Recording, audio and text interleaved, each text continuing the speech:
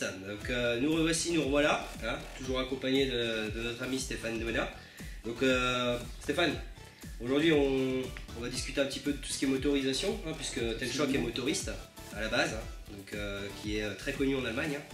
Euh, et très, très, les produits sont très prisés. Donc euh, Stéphane, qu'est-ce que tu as à nous dire sur cette euh, gamme de moteurs? Alors la gamme de moteurs déjà, on va essayer de faire simple pour quelque chose qui n'est pas, puisque déjà un moteur, eh bien c'est pas si facile que ça à expliquer. Il y a des grosses différences au niveau de la taille, au niveau de la puissance, mmh. et en fonction des modèles que l'on a, eh bien il faut être capable de, bien s'adapter pour ne pas faire souffrir le moteur et pour être capable de mouvoir quand même à des vitesses à des rendements suffisamment élevés nos différents modèles. Alors pour cela, eh nous allons procéder euh, simplement, on va dire par euh, ce qui se passe dans les airs, ce qui se passe sur l'eau et ce qui se passe sur la terre. Alors en premier, ben, nous allons parler de la gamme EZ, c'est la gamme qui est euh, spécialisée pour les avions. Ce sont des moteurs extrêmement bien ventilés, avec des cages avant et arrière très ajourées. Ils sont disponibles en série 15, c'est-à-dire des moteurs de diamètre 28 mm sur axe de 4 mm est spécialement fait pour euh, les réducteurs, des multiplicateurs que l'on trouve beaucoup dans les avions, les, planeurs, etc. Donc ces moteurs-là eh bien, ont une puissance qui va de 480 à 1200 watts. Et puis nous avons la gamme 22, la gamme au-dessus, puisqu'on passe du diamètre 28 au diamètre 36 mm, axe de 5 mm. Et cette fois-ci, nous avons des puissances qui vont de 1000 à 2200 watts. Ce qui est conséquent. Ce qui commence à être conséquent, mais on va beaucoup plus loin. Donc ces moteurs-là, gamme 15, moteur 4 pôles, gamme ou série 22, moteur à 6 pôles. Alors ces gammes, ces séries 4 et 6 pôles, nous les retrouvons également pour les deux gammes qui sont très prisées chez nos amis offshore euh, dans le monde de l'offshore électrique, avec la série des Viper. Mhm. Ce sont ces petits moteurs-là avec des flasques bleutées et la série CZ2 qui est la série haut de gamme avec des flasques noires, hein, toutes, noires, assez saillantes avec beaucoup d'ouverture sur le moteur.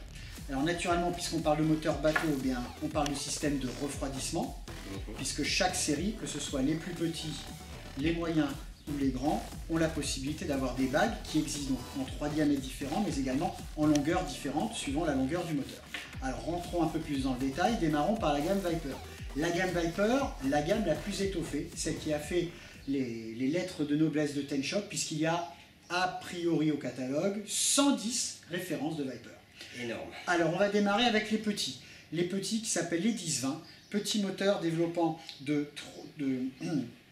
350 pour le 10-20 à 500 watts pour le 10-30, vous voyez le même en plus long, moteur de 20,5 mm de diamètre, axe de 3 mm, et les 10-20 sont les moteurs qui équipent notre série de bateaux qu'on appelle les Mini. Eco, Mini 4, Mini Y. dont on parlera un petit peu plus tard.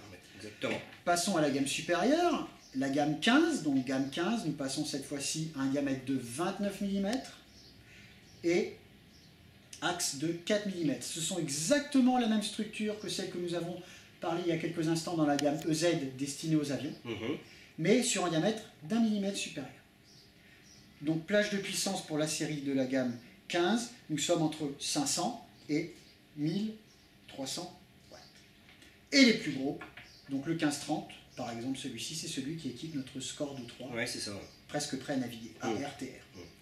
Et la taille au-dessus, la série des 22, donc on passe, nous étions à 36 mm pour les EZ, nous sommes à 39 mm, avec donc les bagues de refroidissement qui s'adaptent très facilement, système de deux joints toriques, il suffit simplement de glisser le moteur à l'intérieur, éventuellement un tout petit conseil, une petite goutte de savon liquide, et ça glisse tout seul, et ça permet de refroidir le moteur. Efficacement, très efficacement. Très efficacement. Et alors là, la gamme des 22, nous allons de 1000 watts pour le 2220, celui-ci qui équipe notre Eco 11 ARTR, jusqu'à 2500 watts pour le 2250, le plus gros de la gamme, 370 grammes qui est un moteur euh, très prisé dans notre catégorie en, bateau de vitesse Hydro 2 et mmh. Mono 2, pour sa puissance développée.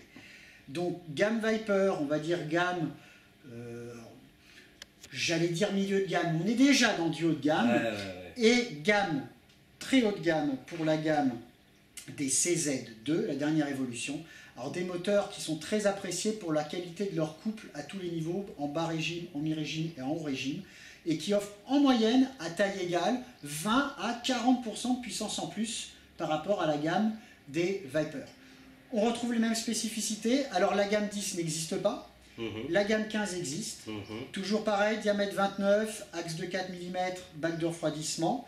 Et là, la puissance va de 650 watts pour un 15-15 à 2000 watts pour un 15-40. On continue On continue. On continue. Allez, on envoie. Et on termine avec la gamme donc 22, diamètre 39 mm, axe de 5 mm. Toujours pareil, on démarre à la gamme 22-20, la plus courte, qui développe déjà 1500 watts, puis la gamme 22-30, 2000 watts, jusqu'à la gamme 22-50, 3600 watts. Voilà pour notre gamme bateau.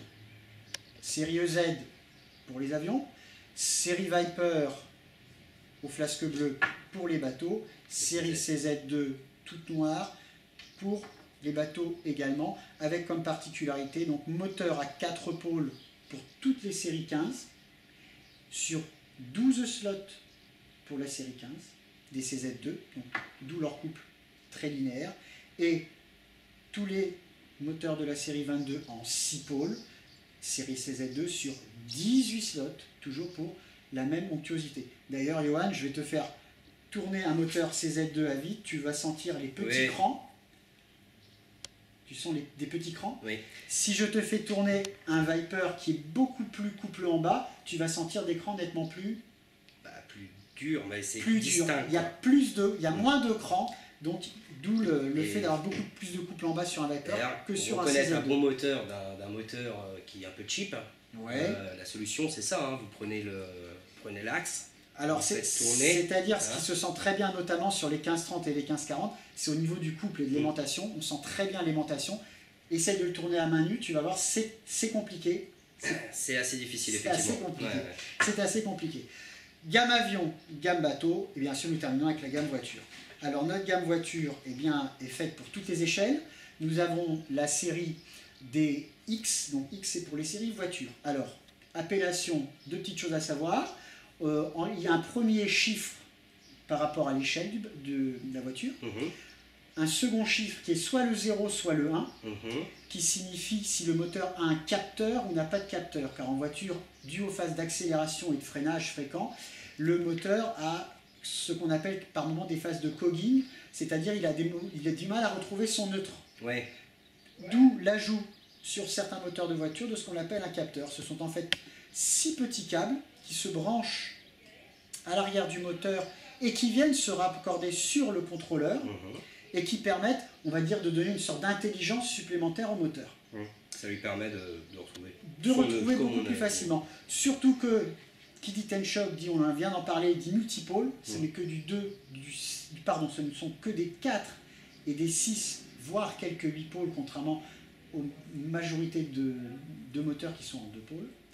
Et donc, c'est d'autant plus euh, évident que l'ajout de capteurs est intéressant pour pouvoir justement aider ces moteurs à retrouver plus facilement leur nœud. Je ne rentrerai pas davantage dans le détail. Mm. Donc voilà, le 0, pas de capteur, le 1 au milieu, capteur. Capteur. Alors, la gamme 1 dixième, ce sont X211, moteur à 4 pôles, pour les 1 dixième, tout terrain ou 4 Nous avons une gamme légèrement au-dessus, qu'on appelle les moteurs short course. Moteur short course, c'est un peu ces, ces sortes de gros 1 dixième, un petit peu à cheval entre le 1 dixième et le 1 huitième. Ouais. On va dire presque gros comme du 1.8, mais plutôt léger comme du 1.10. Donc on les appelle ceux-là les SC pour short course. Mhm. Donc pareil, deux gammes. La gamme 401 sans capteur et la gamme 411 avec capteur. Zéro, pas de capteur, un Ah, capteur. capteur. Ensuite, nous passons à la gamme 802 et 802L, L pour longue, donc version un petit peu plus longue, spécialement fait pour les truggy et les Mhm. TT 1 8 alimentés en 4S le plus généralement. Donc ça, 0, ça veut dire qu'il n'y a pas de Pas de- capteur. Capteur et un capteur. Et voilà, et la compris. fierté de la marque, mais je sais que tu as c'est pour ça que je te demande, je ne te piège pas.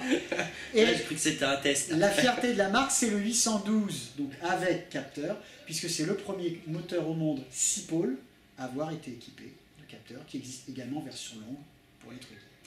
Et enfin, il faut le savoir aussi, même si c'est un marché beaucoup plus restreint que le 1 dixième et le 1 huitième, qui sont les marchés principaux, Tenshop fabrique également des moteurs X501 qui développent 5000 watts. Ça va nous faire plaisir là. Qui pèsent 940 Et c'est pour du 1 cinquième. Et c'est pour du 1 cinquième ou de très très très gros bateaux alimentés de 8 à 10, voire à 12 S. Voilà. Donc là, nous sommes dans du très très gros domaine, Mm. très pointu. Là, je vous invite vraiment, même d'une manière générale, de toute façon, à contacter des discours. Ouais, mais regarde, c'est très simple. On- on- Regardez-les. En dessous, là, vous avez tout ce qui est partie contact. Vous nous posez les questions. Si je peux vous répondre, je vous réponds. Dans le cas échéant, je transmettrai à Stéphane. Stéphane vous répondra. Et on gère tout ça. De toute façon, hein, on est toujours comme ça. hein. On est liés. hein. On est liés depuis maintenant euh, deux années, nous travaillons très très bien ensemble. Encore une fois, Tenchoc, entreprise familiale, Ardenis Scoot, entreprise familiale, ça nous plaît de vous faire partager notre passion et de vous proposer des produits de très haute qualité pour le plus grand public. Merci à vous.